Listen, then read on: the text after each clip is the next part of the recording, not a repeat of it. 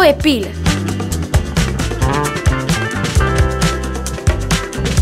S pilom smo vedno v dobri družbi.